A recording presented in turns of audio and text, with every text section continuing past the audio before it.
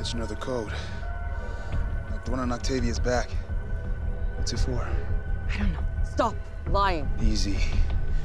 Octavia lost her memory too. Must be a result of moving through the anomaly.